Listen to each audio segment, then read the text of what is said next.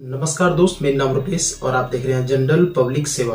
दोस्तों, अगर आप लोग भी बिहार के निवासी हैं और किसान हैं तो आप लोगों के लिए बहुत ही बेहतरीन योजना आ चुका है। आज के इस वीडियो में हम आप लोगों को बताएँगे बिहार सरकार के द्वारा एक ऐसा योजना के बारे में, जिसके अंतर्गत अगर आप फॉर्म को अप्लाई करते हो तो आपको फ्री ऑफ़ कॉस्ट अड़तालीस हज़ार का अनुदान जो है वो आपको मिलेगा।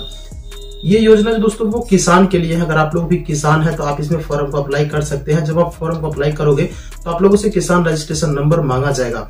ये योजना जो है दोस्तों अभी अभी ही आया हुआ है और केवल अभी बिहार बिहार के कुछ ही जिला में जो है लागू हुआ है। तो हम आप लोग को इसका नोटिफिकेशन भी बताएँगे और साथ में आप लोग को फॉर्म अप्लाई करने के लिए भी बताएँगे और कौन सा वो योजना है वो भी हम आप लोग को बस आप लोग वीडियो को लाइक ज़रूर कर दीजिएगा। चैनल पे पहले बार आए हो तो चैनल को भी आप लोग सब्सक्राइब अवश्य ही कर दीजिएगा। तो चलिए दोस्त, ले चलते आपको हम पेज स्क्रीन पर। वहाँ पे ले जाकर आप लोग के साथ ए टू जेड जानकारी को शेयर करते हैं, किस प्रकार से क्या इसका फंडा है।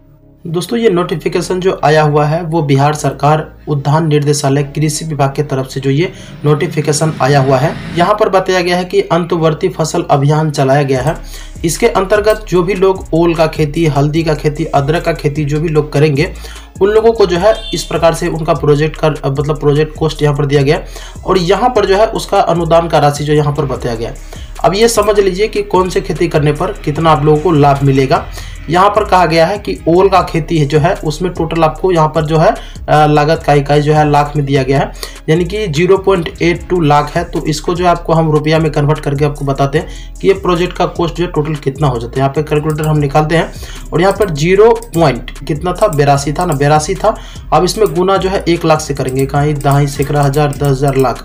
बराबर करते हैं तो यहाँ पर बेरासी हज़ार टोटल आ जाता है। तो यहाँ पे जैसे कि बेरासी हज़ार निकल के आया तो ये जो टोटल आपका ज़ीरो पॉइंट बेरासी है ना तो ये बेरासी हज़ार का टोटल आपका प्रोजेक्ट कॉस्ट हो गया। अगर ओल का आप खेती करते हैं तो जिसमें आप लोग को ज़ीरो पॉइंट फोर वन जो है, आपको इतना इतना लाभ मिल मतलब अनुदान मिलेगा।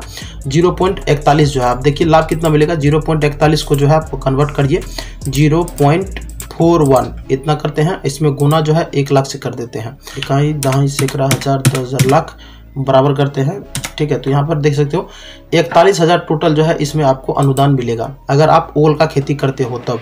सेम उसी प्रकार से हल्दी का भी है, यहाँ मान लेते हैं हल्दी का ज़ीरो पॉइंट दो सौ तेईस है तो ज़ीरो पॉइंट दो सौ तेईस है तो इसका कितना रुपया निकलता है, वो देख लीजिए ज़ीरो पॉइंट दो सौ तेईस है ना तो इसमें गुना कर दीजिए एक लाख से। इकाई दहाई सैकड़ा हज़ार, दस हज़ार लाख।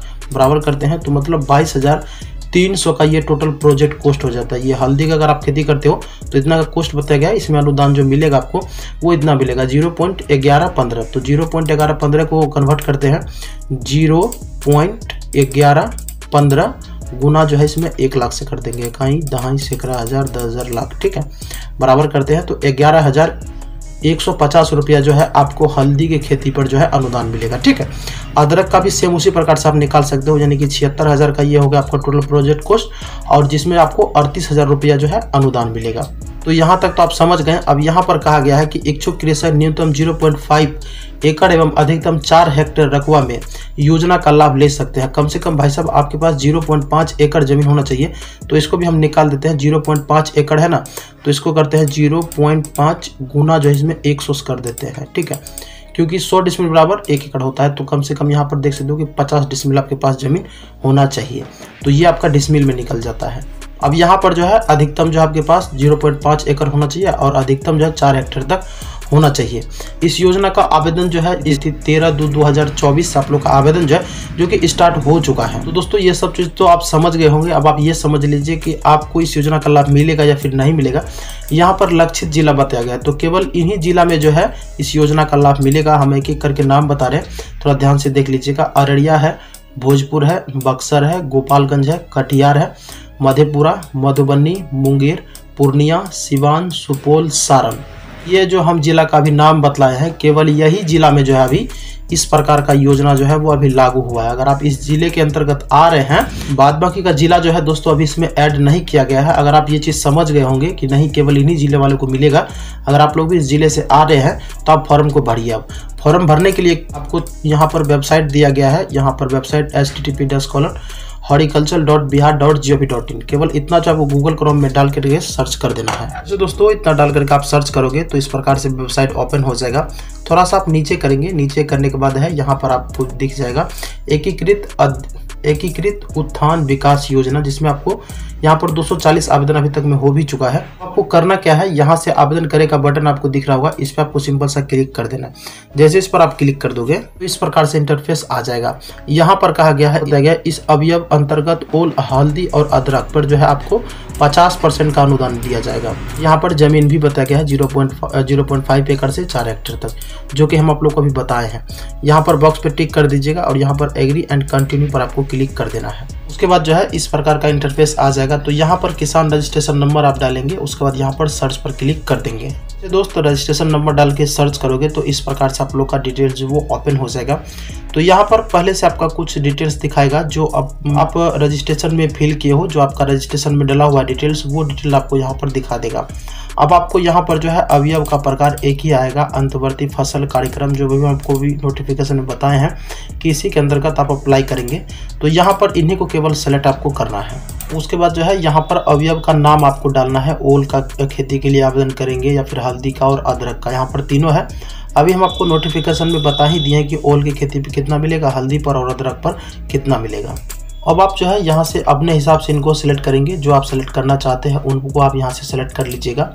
उसके बाद यहाँ पर जिला आ रहा है तो जिला का नाम अपने, आप अपने जिला का नाम यहाँ से सेलेक्ट करिएगा। प्रखंड का नाम यहाँ से सेलेक्ट करिएगा। जब जिला आप सेलेक्ट करोगे तो प्रखंड का ये बॉक्स ओपन होगा। उनके बाद प्रखंड डालने के बाद यहाँ पर पंचायत का नाम डालेंगे और यहाँ पर जो है गाँव का नाम सेलेक्ट करेंगे। अब यहाँ पर सिंचाई का स्रोत यहाँ पर कहा गया तो इस पर क्लिक करने के बाद यहाँ पर आपको बता देगा कि आप जो सिंचाई खेत में करते हो, यानी खेत जो करते हो, उसमें जो है पानी आप कहाँ से लाते हो? जैसे कि बोरवेल से आप पानी देते हो या फिर नहर से या फिर कुआँ से या फिर अन्य या फिर किसी भी प्रकार का वहाँ पर कोई भी व्यवस्था है ही नहीं। कुछ नहीं है तो यहाँ पर नहीं लागू पर क्लिक करेंगे आप, ठीक है? अब मान लेते हैं जो भी आपको तो आप अपने हिसाब से इनको सेलेक्ट करेंगे, जैसा भी होगा वैसा इनको यहाँ से सेलेक्ट कर दीजिएगा। फॉर एग्ज़ाम्पल हम यहाँ पर नहर डाल देते हैं। जैसे दोस्त, हम यहाँ पर नहर डाले हुए हैं। अब यहाँ पर सिंचाई पंप के बारे में आपको बताना है। कि यानी कि जो आप खेत पटवन करते हो तो उसमें जो है बिजली का यहाँ पर पंप है, डीजल पंप है या फिर अन्य है या फिर लागू नहीं है। मतलब जो आप मशीन चलाते हो ना, वो किस प्रकार का मशीन मतलब वो मशीन चलाते हो, वो कैसे चलाते हो?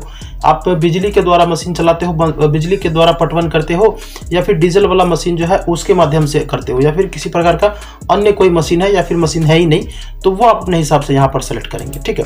तो फॉर एग्ज़ाम्पल हम कुछ भी यहाँ पर डाल देते हैं। अब उसके बाद जो है यहाँ पर किसान का प्रकार आपसे पूछा गया। तो यहाँ पर एक ही आएगा रैयत।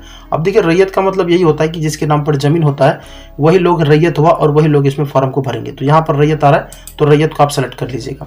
अब यहाँ पर खाता नंबर, खेसरा नंबर और रकवा आपको डालना है।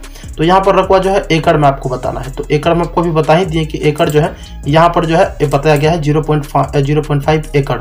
कितना डिसमिल हुआ, वो हम आपको अभी बता दिए। अब यहाँ पर जो है, आप अपने हिसाब से इनको फिल करेंगे।